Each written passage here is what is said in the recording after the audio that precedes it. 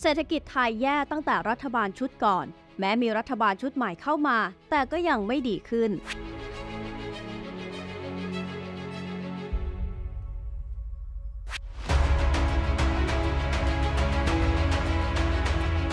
นี่คือคำกล่าวของคุณจันเพนซื่อตรงในวัย 54 ปี ซึ่งทีมข่าวกรุงเทพธุรกิจค่ะ ได้มีโอกาสลงไปพูดคุยกับเธอ ซึ่งเธอเล่าว่าเธอทำงานอยู่ที่โรงงานกระจกนิรภัย VMC ที่จังหวัดสมุทรปราการมากว่า 20 ปีค่ะ ซึ่งเธอได้รับแจ้งในเดือนเมษายนอย่างไม่คาดคิดค่ะว่าโรงงานกำลังจะปิดตัวลง และเธอจะต้องกลายเป็นคนตกงาน ท่ามกลางกระแสที่ BYD ค่ะประกาศเปิดโรงงานแห่งแรกในอาเซียน คือที่ประเทศไทยทำให้หลายฝ่ายค่ะจับตาเรื่องนี้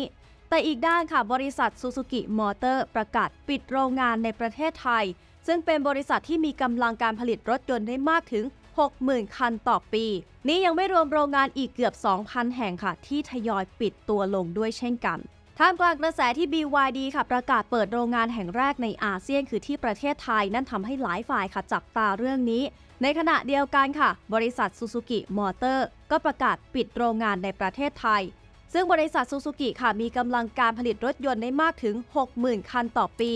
นี่ยังไม่รวมโรงงานอีกเกือบ 2,000 แห่งค่ะที่ทยอยปิดตัวลง เกิดอะไรขึ้นกับเศรษฐกิจไทยกันแน่ สัญญาณต่างๆ ที่เกิดขึ้นนี้บ่งชี้ไปในทิศทางไหน การปิดตัวลงของโรงงานหลายพันแห่งค่ะ โดยเฉพาะโรงงานของบริษัทใหญ่กำลังเป็นปัญหาในภาคการผลิต ที่ได้รับผลกระทบจากหลายด้าน ไม่ว่าจะเป็นการทะลักของสินค้าและรถยนต์ราคาถูกจากจีน ความสามารถในการแข่งขันด้านอุตสาหกรรมที่ลดลง ราคาน้ำมันก็พุ่งสูงขึ้น และแรงงานที่กำลังเกษียณอายุ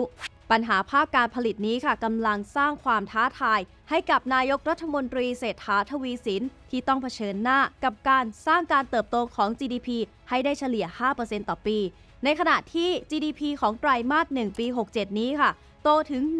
1.5%ซึ่งต่ำที่สุดในอาเซียน ซึ่งนายกรัฐมนตรีเศรษฐากล่าวในรัฐสภาว่า ภาคอุตสาหกรรมชะลอตัวลง และกำลังการผลิตก็ลดต่ำลงกว่า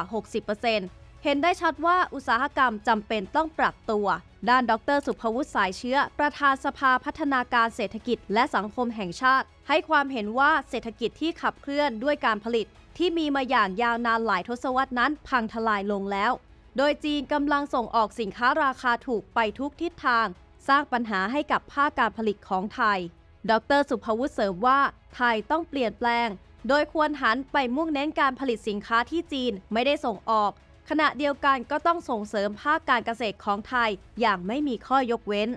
ข้อมูลล่าสุดจากกรมโรงงานอุตสาหกรรมค่ะระบุว่า มีโรงงานปิดตัวลงถึง 40%ค่ะ แค่ระหว่างช่วงเดือนกรกฎาคมปี 66 จนถึงมิถุนายนปี 67 นี้ค่ะ ส่งผลให้ มีผู้คนตกงานมากกว่า 50,000 คน ด้านแผนกวิจัยของธนาคารเกียรตินาคินพัทระ ระบุว่าจำนวนการเปิดโรงงานใหม่ก็ลดลงเช่นกัน โดยโรงงานขนาดใหญ่ปิดตัวลง ในขณะที่โรงงานขนาดเล็ก กลับเปิดดำเนินการแทน ผลกระทบดังกล่าวลุกลามไปยังอุตสาหกรรมต่างๆ ที่เป็นแรงขับเคลื่อนสำคัญของเศรษฐกิจ รวมถึงอุตสาหกรรมยานยนต์ ด้านคุณแสงชัยธีรกุลวานิชประธานสมาพันธ์ SME กล่าวว่า ผู้ผลิตขนาดเล็กกำลังประสบปัญหาต้นทุนการผลิตที่เพิ่มสูงขึ้น เนื่องจากราคาน้ำมันที่พุ่งขึ้น และค่าแรงที่ค่อนข้างสูง ไม่เพียงเท่านั้นยังต้องแข่งขันกับบริษัทข้ามชาติ ที่ทำให้ผู้ผลิตปรับตัวไม่ทัน ต้องปิดกิจการหรือเปลี่ยนไปผลิตอย่างอื่นแทน ด้านรองประธานสภาอุตสาหกรรม นาวาจันทนาสุรคนกล่าวว่ากลุ่มของเขาได้เรียกร้องให้รัฐบาลพิจารณาแนวทางป้องกันการเลี่ยงภาษีขาเข้า ท่ามกลางสงครามการค้าระหว่างสหรัฐและจีน โดยเบื้องต้นคาดการว่าเศรษฐกิจของไทยจะเติบโตเพียงประมาณ 2.5%ในปีนี้ ซึ่งเป็นหนึ่งในปัจจัยที่ทำให้คนไทยส่วนใหญ่ ไม่พอใจในผลงานของนายกเศรษฐา ในขณะที่นายกรัฐมนตรีเศรษฐาทวีสินกล่าวถึงโครงการแจกเงินดิจิทัลที่ใช้งบประมาณกว่า 5.6 แสนล้านบาทว่า นี่คือยาแรงที่จะช่วยฟื้นฟูเศรษฐกิจ ในขณะที่กำลังเป็นข้อถกเถียงของหลายฝ่ายรวมถึงธนาคารกลางก็ด้วย ด้านคุณจันเพนในวัย 54 ปี ที่ตอนนี้ค่ะเธอไม่มีรายได้ประจำเพราะว่าตกงานได้กล่าวถึงสถานการณ์ของตัวเองว่า ตอนนี้เธอไม่มีเงินเก็บ แต่มีหนี้เป็นแสน